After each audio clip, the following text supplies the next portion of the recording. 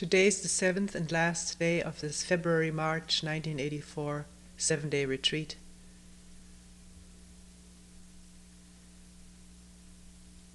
And we will read from a book, Zen Teaching of Huang Po, translated by John Blofeld.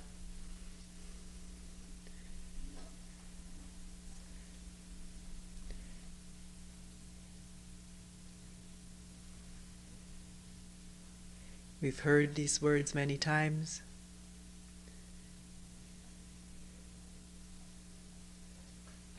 But the beauty of understanding is that it is never in the past. Understanding can only be now.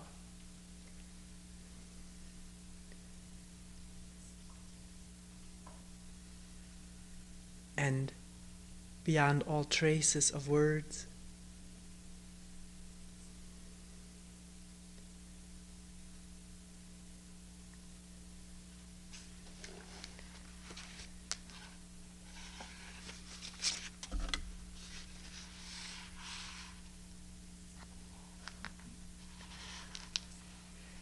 The talks, which are called sermons here,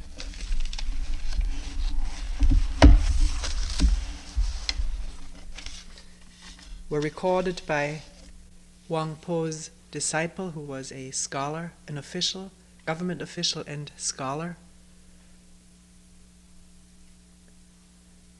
with a with an enormous knowledge of Buddhist scriptures, doctrines, theories, cosmology.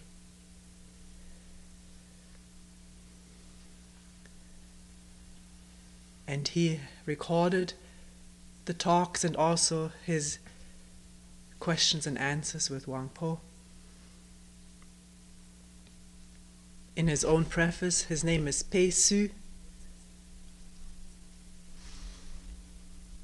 He says of Huang Po, holding in esteem only the intuitive method of the highest vehicle, which cannot be communicated in words, he taught nothing but the doctrine of the one mind, holding that there is nothing else to teach, in that both mind and substance are void, and that the chain of causation is motionless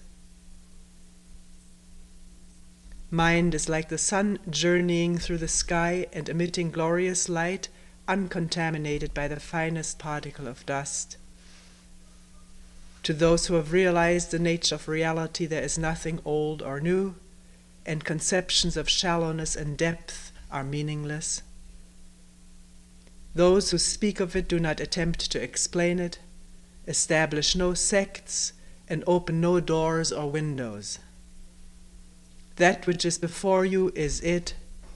Begin to reason about it, and you will at once fall into error. Only when you have understood this will you perceive your oneness with your original Buddha nature. The well, let's first finish this.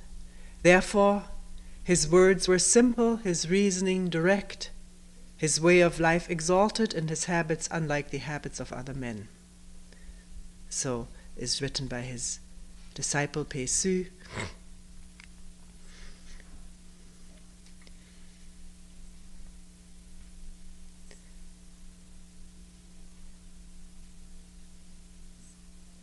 The word Buddha is frequently used in the questions by Pei Su and in Huang Po's answers. Huang Po uses the word Buddha, not referring to historical Gautama Buddha, nor to a future Buddha, but in its Sanskrit sense of the awakened mind or truth. One mind or no mind.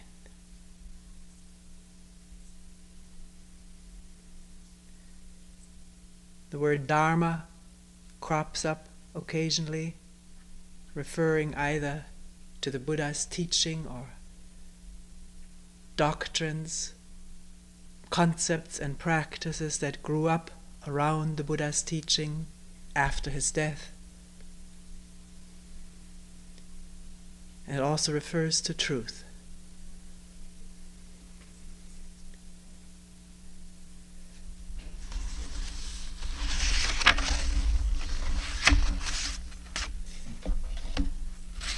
The Master said to me,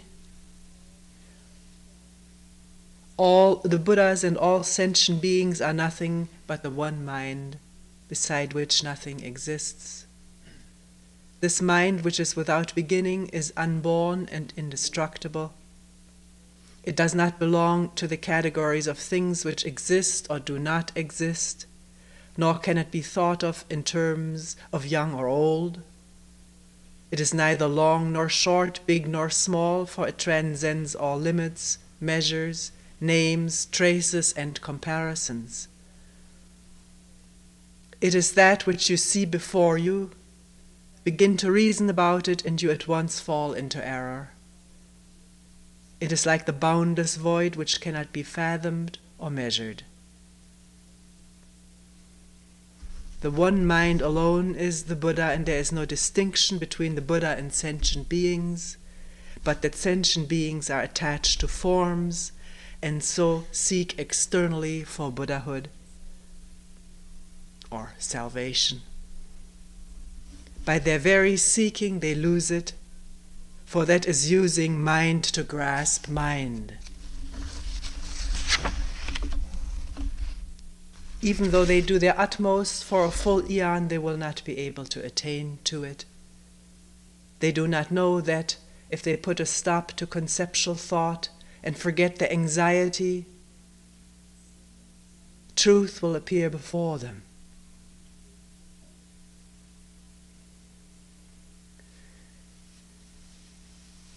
Huang Po talks a lot about putting an end to conceptual thought.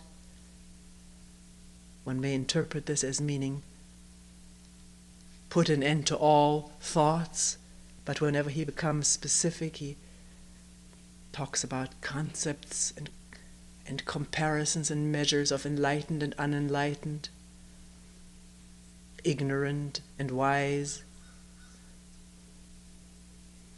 There's these concepts to which we get so attached, or by which we get so burdened down.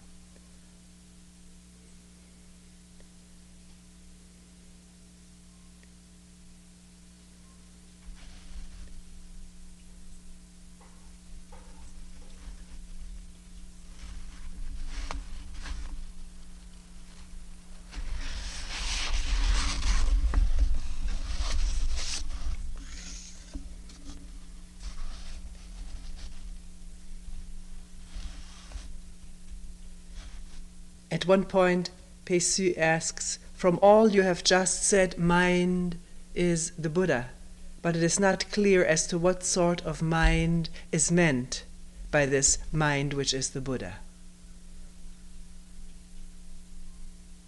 And Huang Po asks, How many minds have you got? Questioner, but is the Buddha the ordinary mind or the enlightened mind?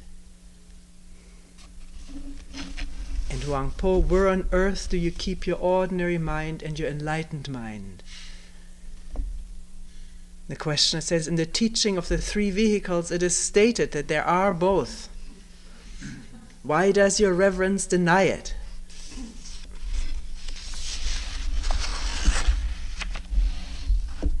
And Huang Po says, in the teaching of the three vehicles, it is clearly explained that the ordinary and the enlightened mind are illusions.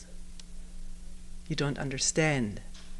All this clinging to the idea of things existing is to mistake vacuity for the truth. How can such conceptions not be illusory? Being illusory, they hide mind from you. If you would only rid yourselves of the concepts of ordinary and enlightened, you would find that there is no other Buddha than the Buddha in your own mind. You people go on misunderstanding. You hold to concepts such as ordinary and enlightened, directing your thoughts outwards where they gallop around like horses. All this amounts to beclouding your own minds. So I tell you, mind is the Buddha. As soon as thought or sensation arises, you fall into dualism.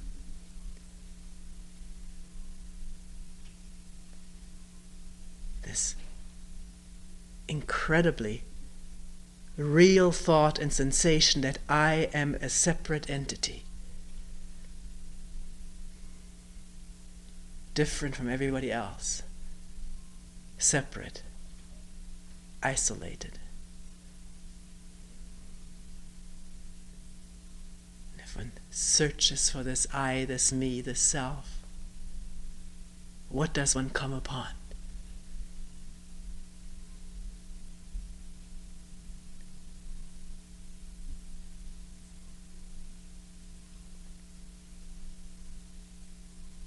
Huang, Huang Po continues beginningless time and the present moment are the same.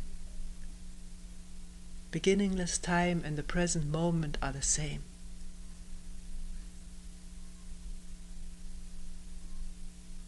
When there's no thought that divides and partitions.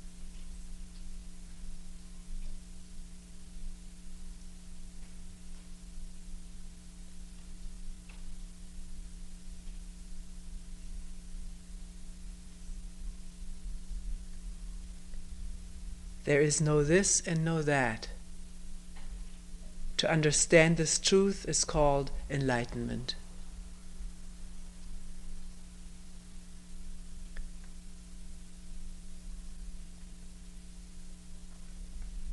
Pei Su asks, upon what doctrine does your reverence base these words?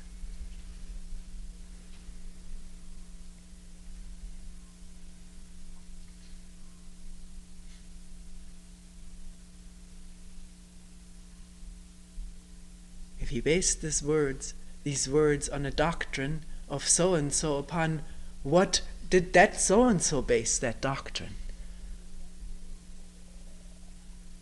Where one is one going to stop believing and start looking? For oneself.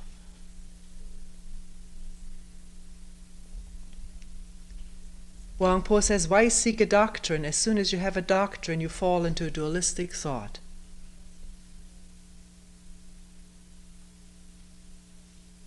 The questioner says, Just now you said that the beginningless past and the present are the same. What do you mean by that? And Huang Po says, It is just because of your seeking it is just because of your seeking that you make a difference between them. If you were to stop seeking, how could there be any difference between them? Or the endless future. In the future, sometime I will attain maybe not in this life, but maybe in the next, or and there will be a, a gradual ascension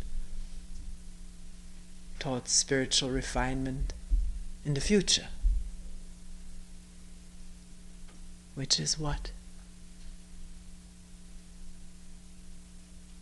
You see, right now it's thought, it's thinking, or else believing what somebody says. At which inquiry stops. One's own inquiry stops the moment one starts believing. It's easy, then one doesn't have to inquire.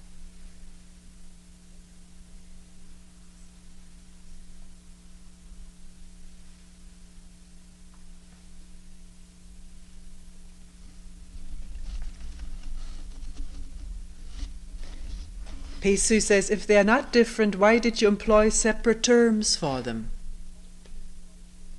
And Huang Po said, if you hadn't mentioned ordinary and enlightened, who would have bothered to say such things?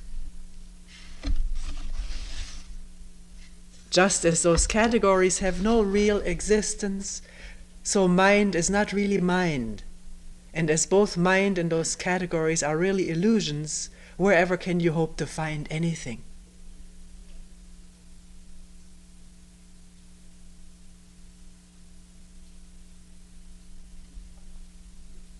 The questioner continues Illusion can hide from us our own mind, but up to now you have not taught us how to get rid of illusion.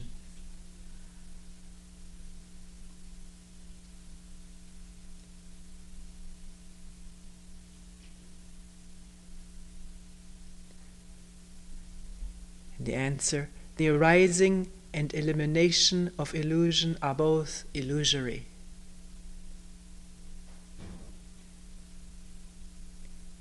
Illusion is not something rooted in reality. It exists because of your dualistic thinking. You will only cease to indulge in opposed concepts such as ordinary and enlightened. Illusion will cease of itself. And then, if you still want to destroy it, wherever it may be, you will find that there is not a hair breadth left on, of anything on which to lay hold. This is the meaning of I will let go with both hands, for then I shall certainly discover the Buddha in my own mind.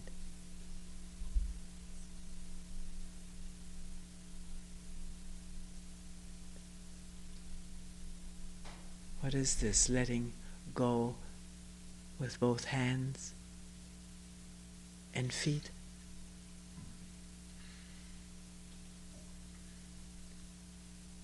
And what is this that one is clutching, grasping for?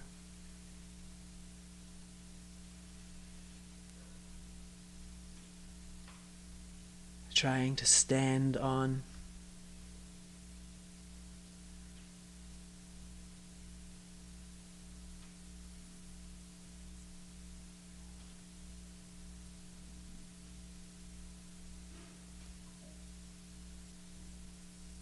Mostly thoughts and memories and images, if you look carefully yourself.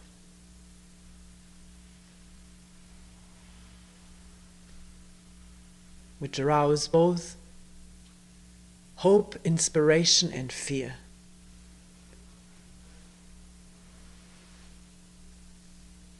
Fear of losing, fear of dying, fear of not having, of not being. Not being as what?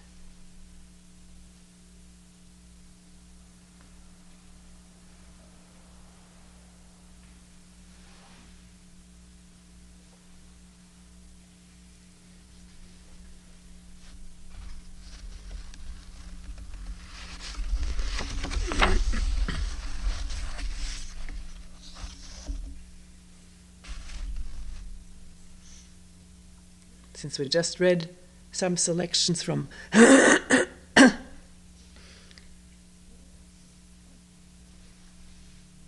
autobiography of the sixth patriarch. Let's read this one here, where reference is made to it.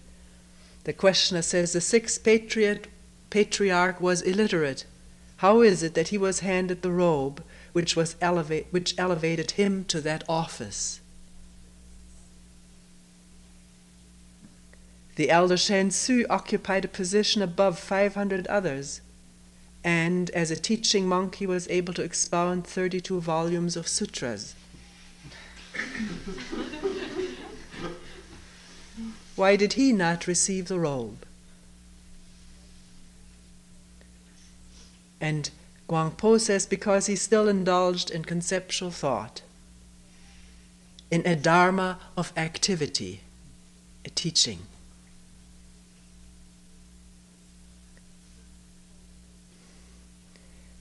To him, quote, as you practice, so you shall attain, unquote, was a reality. So the fifth patriarch made the transmission to Wei Nang.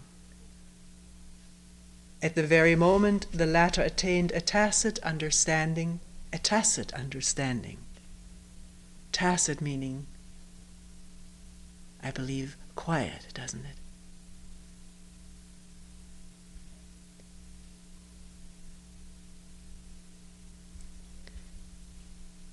And received in silence the profoundest thoughts of the Tathagata. Tathagata, another word for Buddha, meaning translated, He who is thus, thus come.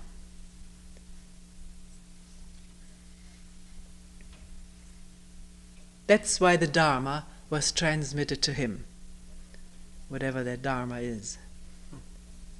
You do not see that the fundamental doctrine of the Dharma is that there are no Dharmas.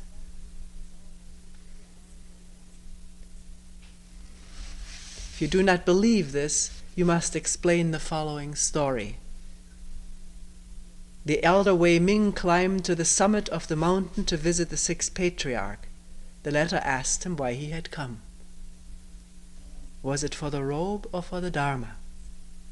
The elder Wei Ming answered that he had not come for the robe, but only for the Dharma. Whereupon the sixth patriarch said, Perhaps you will concentrate your thoughts for a moment and not think in terms of good and evil, or avoid thinking in terms of good and evil. Ming did as he was told, and the sixth patriarch continued While you are not thinking of good and not thinking of evil, just at this very moment, return to what you were before your father and mother were born. Even as the words were spoken, Ming arrived at a sudden tacit understanding. Accordingly, he bowed to the ground and said, I am like a man drinking water who knows in himself how cool it is.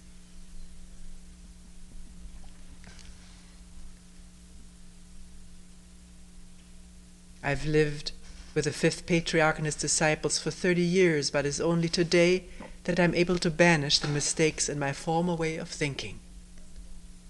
The sixth patriarch replied, Just so. Now at last you understand.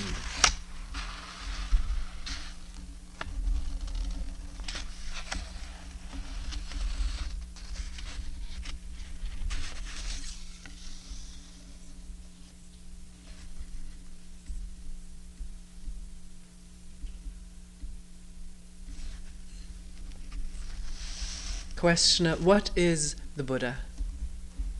Answer, mind is the Buddha, while the cessation of conceptual thought is the way. Once you stop arousing concepts and thinking in terms of existence and non existence, thinking in terms of my not being, this is something which arouses great fear in some people. This almost obsessive thought of not being.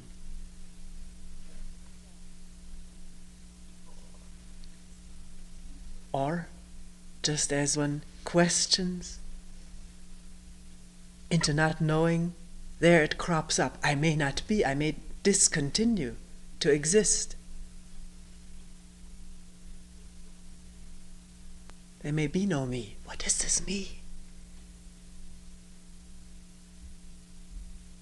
That arouses this fear of not being me.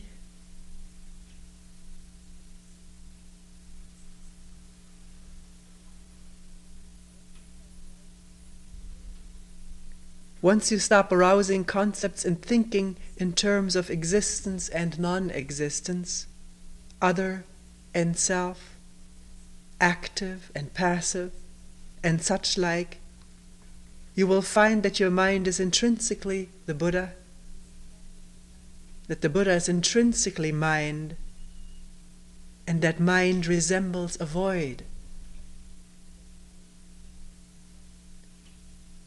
Which doesn't mean a vacuum, that's a thought, a concept. Although in physics, if you pump out the air out of a glass tube, there you have a void. No air is what it means.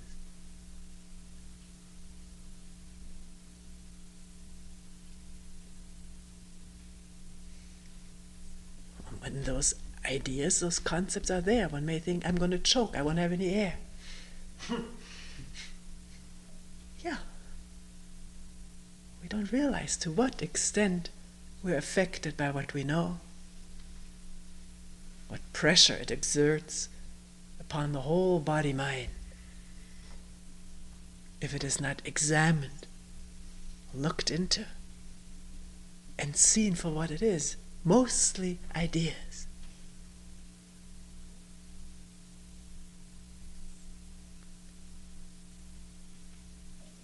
Or past experiences which have become a memory.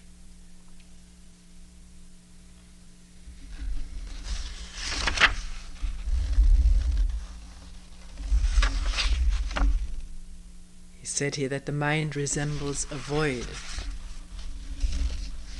that state in which nothing is grasped, nothing is run away from, escaped from, avoided, or attached to but seen for what it is.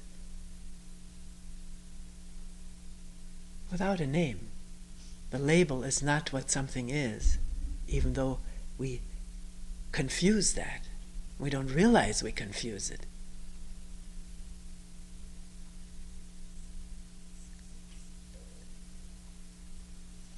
Or the name and the label hides what something really is.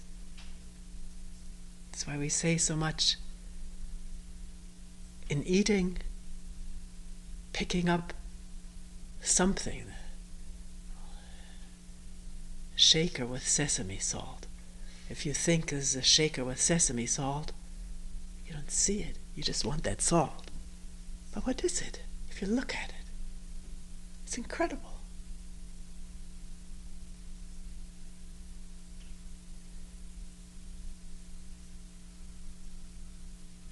Have you ever looked at sesame salt?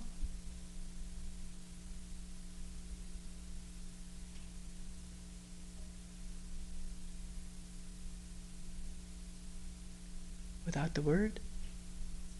Not knowing it?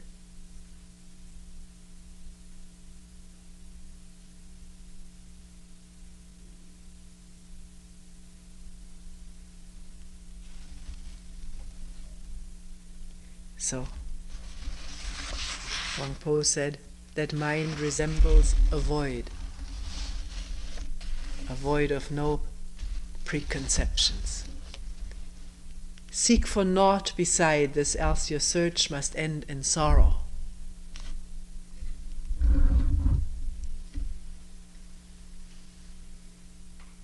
For a while it may bring bliss and self satisfaction, gratification but when that goes and is over, then there's the sorrow of loss, disappointment.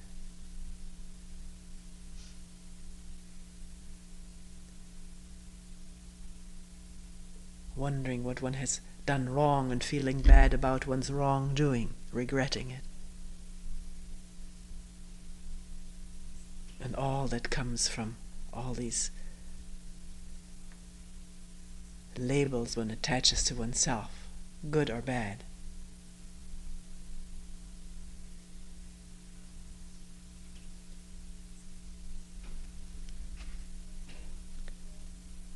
Huang Po continues, though you perform the six paramitas, which are pious practices which are supposed to help one along on the way, to gaining enlightenment. In these six paramitas, in the footnote it says are charity, morality, patience under affliction, zealous application, right control of the mind, and the application of highest wisdom. How can one practice that? Either wisdom is there, comes out of the clarity of seeing, or it's not there. What one applies is something studied or remembered or known. And that may not have anything to do with the present situation as it is. It has to be seen. Without referring to knowledge for how one should act, knowledge of wisdom.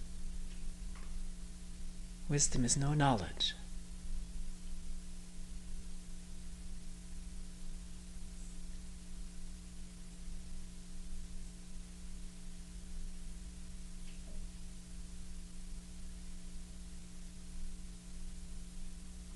It's inseparable from the, the clarity of seeing, of seeing wholly.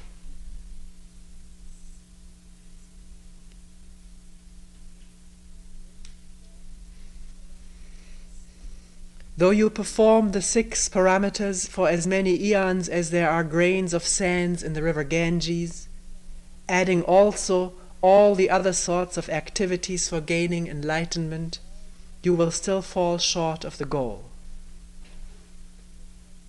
Only come to know the nature of your own mind, in which there is no self and no other.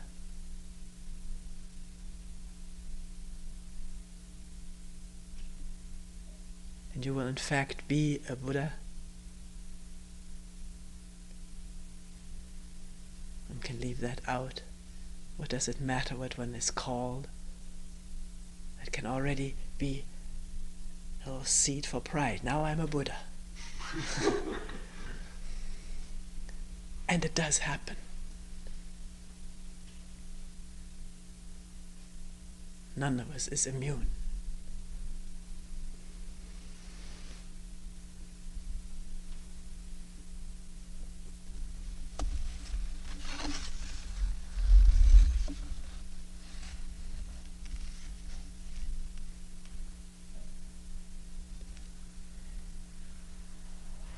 Here he comes back again, or maybe it's another questioner. If mind and the Buddha are intrinsically one, should we continue to practice the six paramitas and the other orthodox means of gaining enlightenment?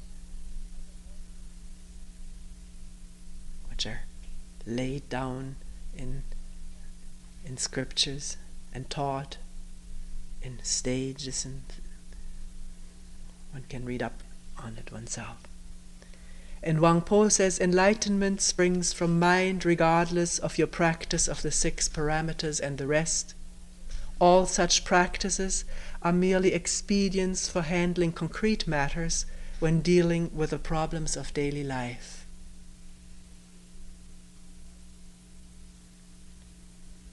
Even enlightenment, capitalized, the absolute capitalized reality, sudden attainment, dharmakaya, and all the others down to the ten stages of progress, the four rewards, rewards of virtuous and wise living, and the state of holiness and wisdom.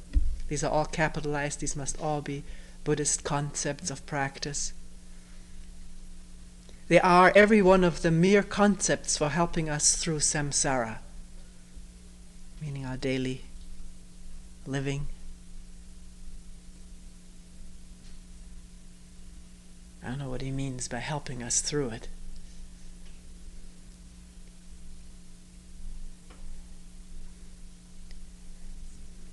They have nothing to do with the real mind, the real Buddha mind.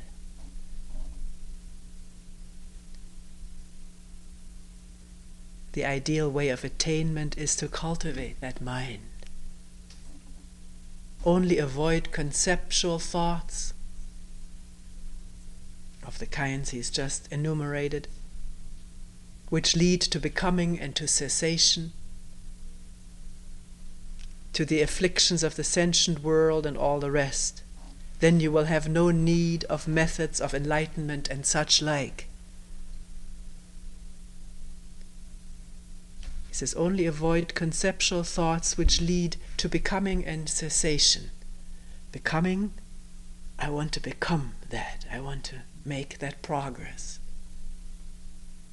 Or cessation is trying to suppress, cut off, or repress all mental activity, physical desire, submitting to austerities, trying in that way to attain whatever.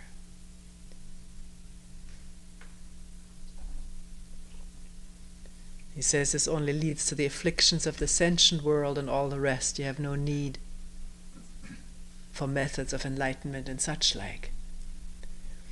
Please let me say at this moment that Huang Po here is not read for me as a resort to some higher authority. Huang Po is no authority. What he says, he says, and we listen. One has to test it for oneself.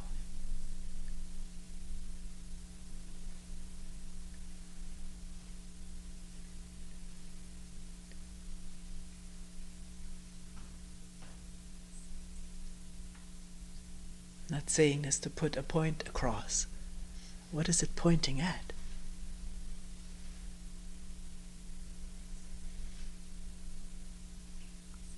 Will one look or does one follow?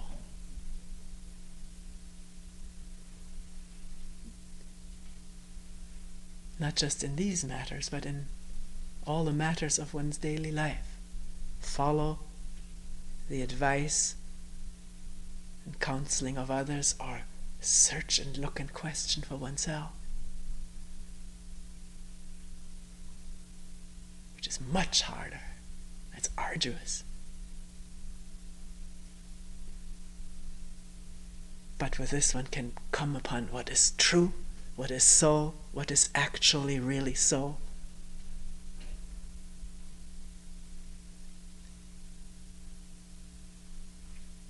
In, in that, free oneself of it.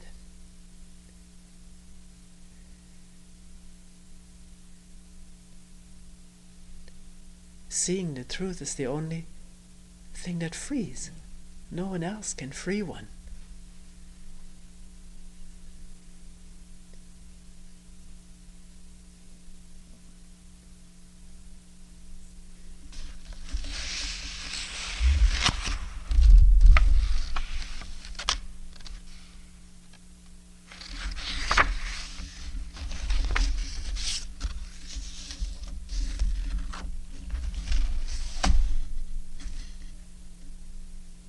Here at one point he says, When we talk of the knowledge I may gain, the learning I may achieve, my intuitive understanding, my deliverance from rebirth, my moral way of living, my is always in quotation marks. Our successes make these concepts seem pleasant to us, but our failures may them appear, make them appear deplorable. What is the use of all that? I advise you to remain uniformly quiescent and above all such activity. Do not deceive yourselves with conceptual thinking, which means one must be able to see conceptual thinking as it takes place, and that it is conceptual thinking.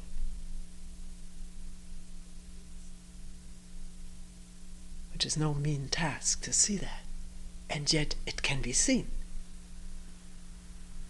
as people know for themselves. One can see the difference between a thought and seeing what is actually so. Or one can see that a thought is a thought, a concept is a concept. It's not the real thing.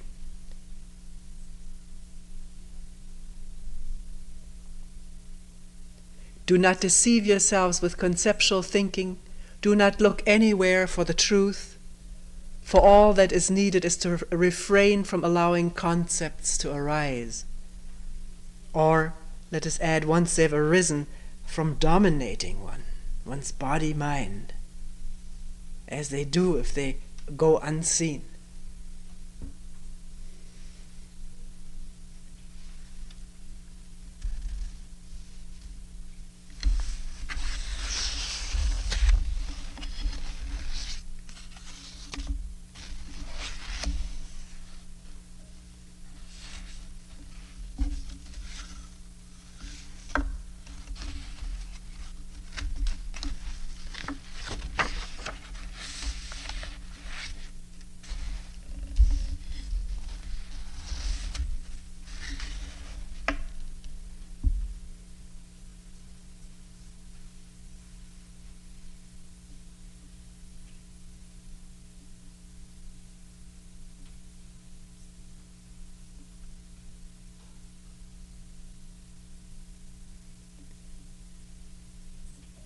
One point of having discussed something or other, Huang Po says, Discuss it as you may, how can you even hope to approach the truth through words?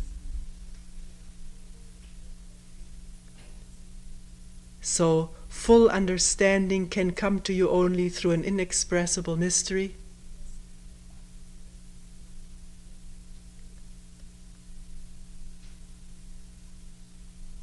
No cause to understanding, no cause for awakening.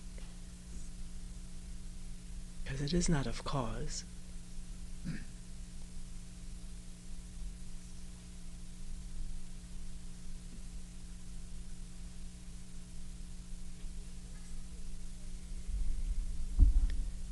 To approach to it is called the gateway of the stillness beyond all activity. Which doesn't mean to sit still now for the rest of one's life. No, can there be stillness in activity? That's a tremendous question.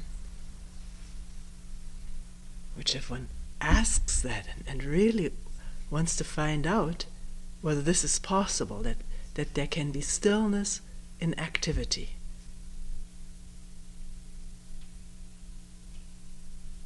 If really ignites one to find that out, then one will watch. And to watch, there has to be stillness. Don't take the word watch too literally. It is, it is an inner, an inner listening, an inner attending.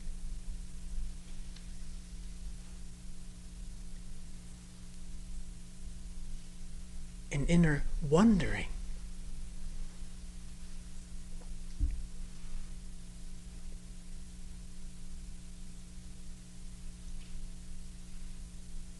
Which creates space and quiet around itself.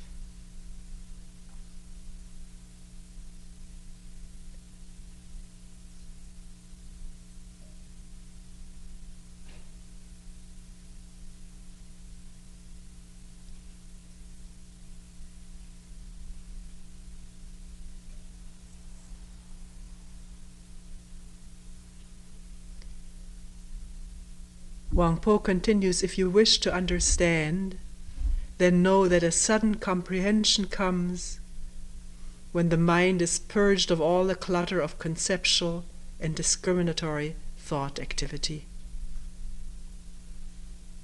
Those who seek the truth by means of intellect and learning only get further and further away from it. Because he's speaking often to an audience of scholars, of people at that time who really sincerely believed that by studying Buddhist doctrine, sutras, and so forth, that was a step on the way, maybe a considerable step. And it's not only at that time that it was believed, it's believed now, and it's done.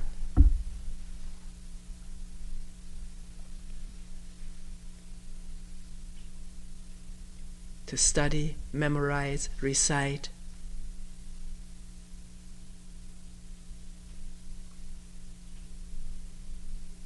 Repeat.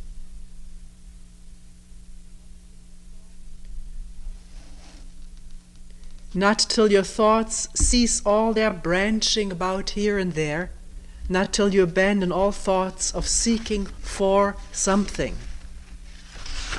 Not till your mind is motionless will you be on the right road.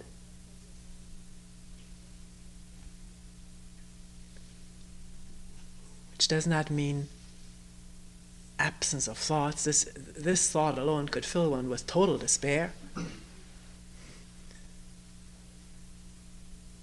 It is this stillness among, in the midst of activity we talk, talked about, which comes out of wondering, listening, in the midst of the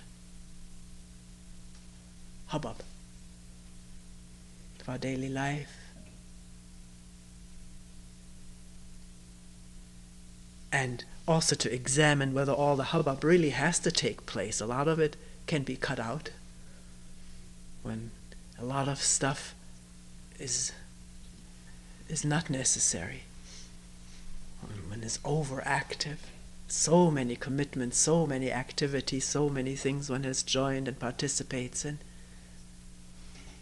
are are not necessary.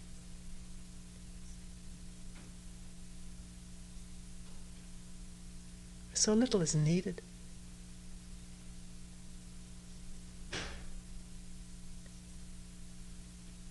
If there's living and listening and attending in depth from moment to moment.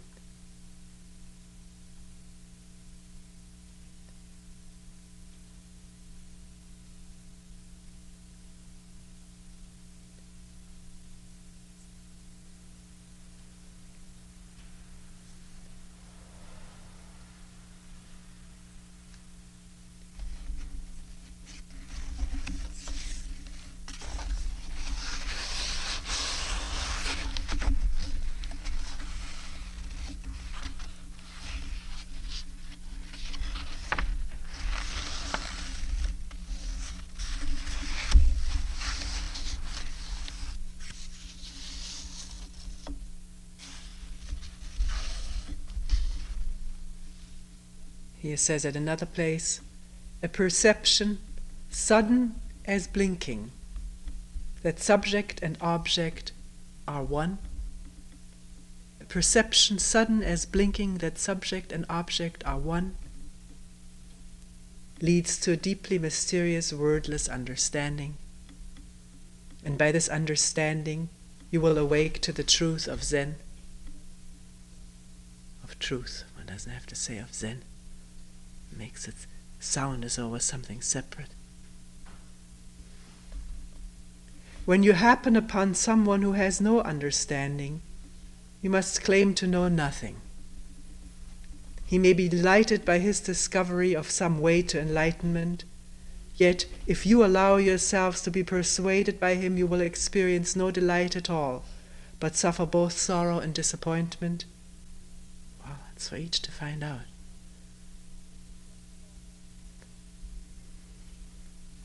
What have such thoughts as this to do with the study of Zen? Even if you do not even if you do obtain from him some trifling method, it will only be a thought constructed thing having nothing to do with Zen. Zen here not standing for a, a method, a school, a sect, but the fullness, the wholeness of understanding from moment to moment.